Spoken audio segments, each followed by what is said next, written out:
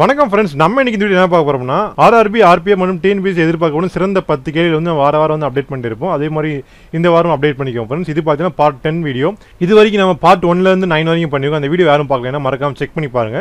அந்த வீடியோக்கான லிங்க்ஸ் எல்லாமே டிஸ்கிரிப்ஷனில் இருக்கு. மறக்காம செக் பண்ணுங்க. அது மட்டும் இல்லாமல் மேலே ஐ பட்டன் எண்டு ஸ்க்ரீன்லையும் கொடுத்து தாராளமாக செக் பண்ணி பாருங்க ஃப்ரெண்ட்ஸ் நம்ம சேனலுக்கு சப்ஸ்கிரைப் பண்ணலைன்னா மறக்காம கீழே ரெட் சப்ஸ்கிரைப் பண்ண சப்ஸ்கிரைப் பண்ணிக்கோங்க. மறக்காம பெல் ஐக்கான் ப்ரெஸ் பண்ணிட்டீங்கன்னா நம்ம சேனலில் போகிற வீடியோ நோட்டிஃபிகேஷன் மொபைல் வந்துடும் வாங்க இன்னைக்கு வீடியோக்குள்ளே போகலாம் இன்னைக்கான முதல் கேள்வி பார்த்தீங்கன்னா இஸ்ரோ தொடங்கப்பட்ட ஆண்டு எதுன்னு கேட்குறாங்க இதுக்கு இதற்கான சரியான பதில் பார்த்தீங்கன்னா 15th ஆகஸ்ட் நைன்டீன் சிக்ஸ்டீன் என்ன இஸ்ரோ வந்து ஸ்டார்ட் பண்ணாங்க.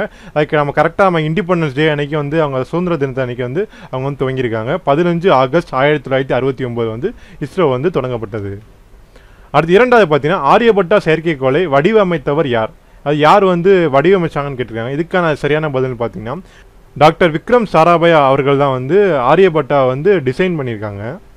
அடுத்து மூன்றாவது பார்த்தீங்கன்னா தமிழகத்தில் பழங்கால பொருட்கள் கண்காட்சி எங்கு நடைபெற்றது? அதாவது எந்த மாவட்டத்தில் நடைபெற்றதுன்னு கேட்டிருக்காங்க. இதற்கான சரியான பதில் பார்த்தீங்கன்னா திருநெல்வேலி மாவட்டத்தில் தான் அதுக்கான கண்காட்சி வந்து நடைபெற்றது. அடுத்து நாலாவது பார்த்தீங்கன்னா உலகின் முதன் முதலாக மிதக்கும் அணுமின் நிலையத்தை உருவாக்கி அசைத்தியுள்ள நாடு எது? அதாவது ஃப்ளோட்டிங் ஸ்டேஷன் வந்து எந்த நாடு வந்து உருவாக்கிருன்னு கேட்குறாங்க இதற்கான சரியான பதில் பார்த்தீங்கன்னா ரஷ்யா தான். இதெல்லாம் வந்து ரொம்ப important question friends current affairs மற்றும் ஜிகே கொஸ்டினில் கேட்க நிறைய சான்ஸ் இருக்குது இதெல்லாம் மறக்காம நோட் பண்ணி வச்சுக்கோங்க. வரக்கூடிய குரூப் டி ஏழு பி தேர்வில் வந்து கட்டாயமாக அதுக்கான சான்ஸ்லாம் இருக்குது ஃப்ரெண்ட்ஸ் அடுத்து ஐந்தாவது பார்த்தீங்கன்னா மலேசியாவில் கேபினட் அமைச்சராக பொறுப்பேற்றுள்ள இந்திய வம்சாவளியைச் சேர்ந்தவர் யார்? இவரோட பேர் என்னன்னு கேட்குறாங்க இதற்கான சரியான பதில் பார்த்தீங்கன்னா கோவிந்த் சிங் தியோ அவர்கள் தான். கேபினட் அமைச்சராக எங்கன்னு பார்த்தீங்கன்னா மலேசியாவில் வந்து பொறுப்பேற்றிருக்காங்க.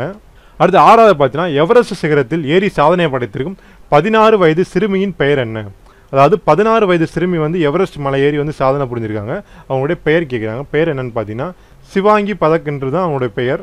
அடுத்து ஏழாவது பார்த்தீங்கன்னா இந்தியாவில் மீண்டும் வெற்றிகரமாக பரிசோதிக்கப்பட்ட ஏவுகணை எது? அனைவரும் எல்லாரும் தெரிஞ்சிருக்கு நினைக்கிறேன். பிரம்மோஸ் சூப்பர் சோனிக் தான் அந்த ஏவுகணையின் பெயர்.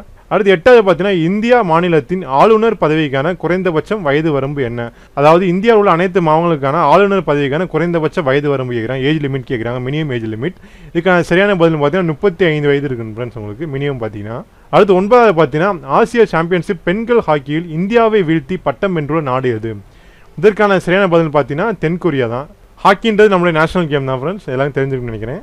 அடுத்து பத்தாவது மற்றும் இறுதியான கேள்வி பார்த்தீங்கன்னா சர்வதேச அளவில் பத்திரிகை துறையில் வாழ்நாள் சாதனையாளர் விருது பெறுபவர் யார்? இதற்கான சரியான பதில் பார்த்தீங்கன்னா வில்லியம் மார்க் டல்லி அவர்கள் தான். என்ன ஃப்ரெண்ட்ஸ் கண்டிப்பாக இந்த வீடியோ வந்து ரொம்ப பயனுள்ளதாக நினைக்கிறேன். இந்த வீடியோக்கான பிடிஎஃப் ஃபைல்ஸ் எல்லாமே கே டிஸ்கிரிப்ஷனில் லிங்க் இருக்குது மறக்காம செக் பண்ணி பாருங்கள் தாராளமாக டேரெக்டாக டவுன்லோட் பண்ணுங்க எந்த நம்ம பாஸ்வேர்டும் வைக்கல ஃப்ரெண்ட்ஸ் நம்ம. என்ன ஃப்ரெண்ட்ஸ் கண்டிப்பாக இந்த வீடியோ வந்து உங்களுக்கு பயனுள்ள இருக்கும்னு நினைக்கிறேன். இந்த வீடியோ உங்களுக்கு பயனுள்ள இருந்துச்சுன்னா மறக்காம நம்ம சேனலை சப்ஸ்கிரைப் பண்ணிக்கோங்க.